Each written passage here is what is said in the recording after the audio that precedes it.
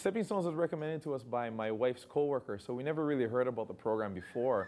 So we tried it out, and my son's been going here for a little over a year and a half now, and he just loves it. He's built a lot of fond relationships with the staff, the teachers, the director, and he looks forward to coming here every day.